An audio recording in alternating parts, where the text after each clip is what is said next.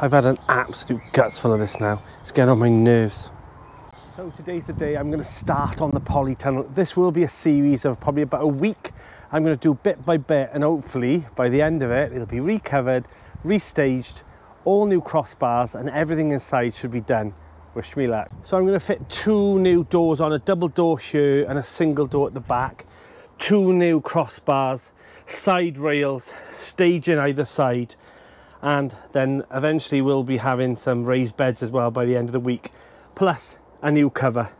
So I've set out all the poles, the staging, crossbars, side rails, the new door fitments and everything else and it's like a jigsaw puzzle in there but we'll get it done, definitely get it done. So there will be a few modifications that I'll be doing myself personally. They're not First Tunnel specs but everything else will be from First Tunnels but I'll be changing a few things. I'll explain later on. So I've had to pop back and get a hacksaw because um, I realised that this polytunnel isn't their normal spec. Their normal spec is 14 feet. And the previous owners, which happened to have a First Tunnel polytunnel, they decided to make this like 13 feet.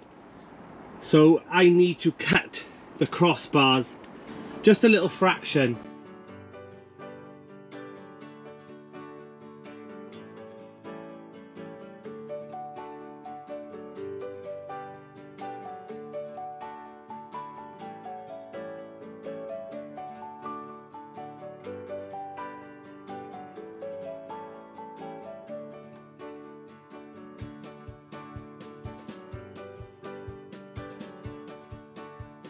So I popped into the shed, I made myself a cup of coffee, and I gotta be honest, it's absolutely freezing out there today. But the problem I've got is I've made this so comfortable now that I never want to leave it. So I put too many comforts on the, oh, you know, on the plot. The log burner's roaring, the coffee's nice and warm, and I know I still got a few more jobs to do today, but so tempted to stay inside here. Right, so enough of the luxuries. I think I'm going to carry on. I've got a bit of the path that I need to weed through. There's quite a few docks and dandelions through there. I want to take all those out, finish off doing the path in between the raised bed and the herb garden that I've just made. And I want to put a nice bark path down there as well.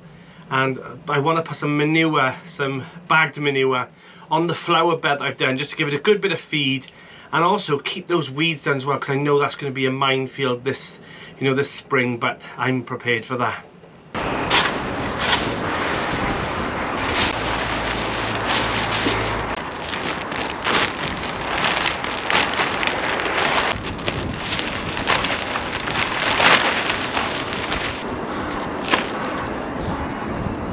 So I'm going to pop down to the Grapevine Garden because I had an idea last year to do something and it was one of those jobs I just never got around to doing.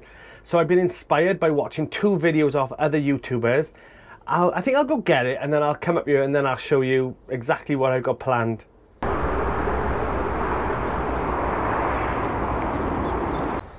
So I bought this in the summer last year and it was one of those plans that never got around to it. So it's a sink and I've got the plug with it as well. So I'll give it a good wash out and then we'll take it up to the other plot. So the idea is that I will fit this sink into a new workbench that will go all the way across here. Now I discovered a YouTube channel, he's a new YouTuber, he is 11 years old and I tell you what, I'm blown away by how creative he is and how confident he is as a gardener. So I've seen this on his channel and it's this little fitment here and all you do is fit this into a water source and then this button on the top gives you running water. So I was well impressed by Freddie for finding this little gadget that will solve my little problem of having some little some water and I can fit a tank underneath like so one underneath full of fresh water. I won't use it for drinking out of but it'll be handy to wash my hands wash some vegetables and things like that and also wash my cutlery and things.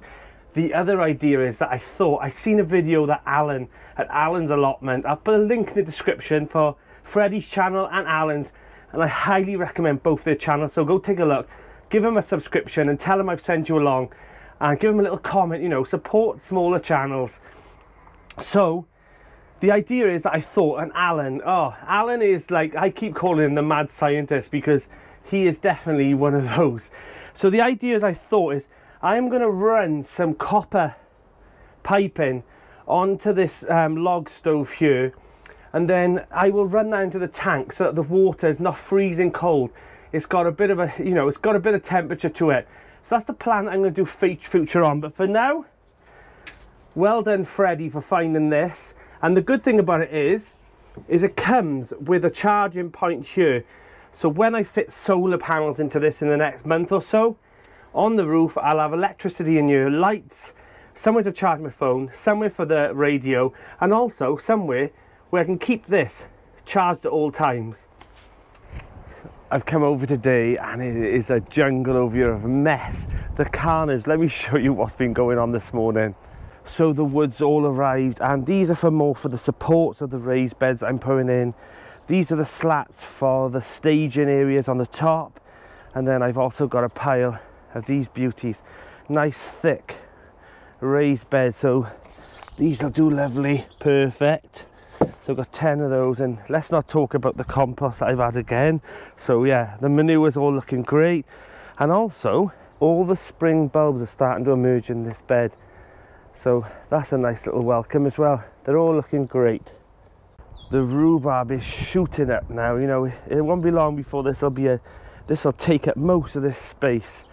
So I got some more wood as well from down there. I ordered. So I'm going to fit a raised bed in here, I think to use some of that space up for this year. So it's all going on. I'm going to empty the polytunnel now and try and get as much as I can going. I've got a few more days before Tony arrives and we reskin the polytunnel. Let's just get on.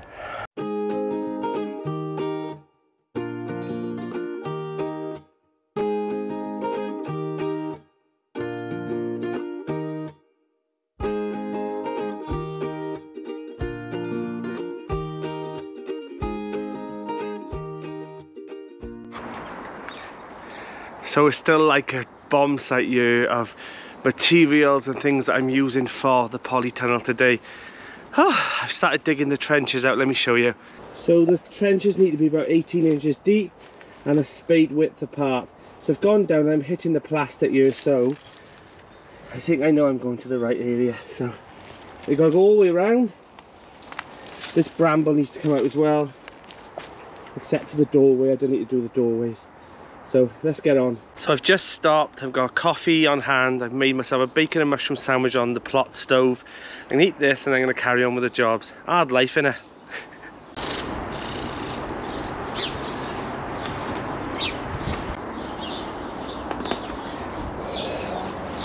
oh, that weirdly feels satisfying to do. Ooh, I bet you're all biting your teeth now at this. So we seem to have a bit of an issue here because this bramble seems to have rooted right next to the polytunnel. So I'm going to have to try and cut this down as far down as I can and then dig out the remaining root ball. But what a place to put it, eh? What a place for you to decide to grow. Well, we've got the secateurs out. The sage is now due for a, a good pruning I mean, you give it back a good cut in now. Cheryl remind me to do this. And as long as you don't go to the new growth, it should come back thicker for the spring. So the trenching's all done, ready for Sunday. New cover, as I've mentioned about 50 times. Can you tell I'm excited about having done? Yes. So I thought I'd do a bit of planting now. I've got some hyacinth that I bought from um, one of the local shops and they, they grow them all themselves. Like a family run business. So I bought two of those to plant in over here. I think I'm to do that now. I feel like I've done a bit of planting in this time round.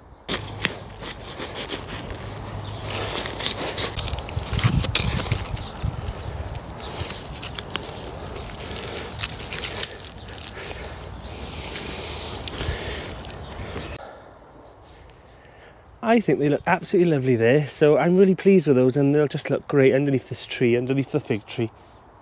I feel like with the trenches done, it looks like a moat and I'm walking into the castle. So this place is an absolute mess. Kitchen sink, that's for another future project. My potatoes are chitting away lovely. I pop this over the top. It's just some normal packaging from um, a previous purchase. And yeah, just keeps them nice and warm in the evenings. Staging, this will all be built in separate staging. There'll be three here. Three trestle tables that can be lifted off when I need to to plant tomatoes at. All the poles are all in now and I've even added some extra ones here to brace it so I can hold on those. Um, they can have some heavy things up on top, like my canes and even maybe some of the trestle tables. God, look at this afterwards. Look at the shreds in this polytunnel. Be, I cannot wait to have it recovered. And then huge raised bed down here, huge raised bed down here, and then a smaller in the middle with some mesh, I think, going all the way to the ceiling and then I'll grow all my, maybe even some sweet peas in here. But yeah, it's a mess, absolute mess. It won't take long. As you know, I won't rest until this is finished. So I've still got another week off um, and this will, should be finished by probably Wednesday maximum. And I, I got so many little plans to go on as well. I'm not going to show you because I want to put that into another polytunnel video of recovering it and everything else that I've added on. So yeah, excited. So I've decided in this area here, after inspecting the soil, is absolutely fantastic soil. And it's just really, really good. So what I've decided I'm going to do is this space here, I'm going to plant my um, asparagus. I'm going to have a huge long asparagus bed. The sun comes across here anyway, so I've figured if I put asparagus down here, um, it's still got the heat from the polytunnel. There'll still be some light for it as well, and the sun comes over you as well in the afternoon, so it'll have plenty of sun.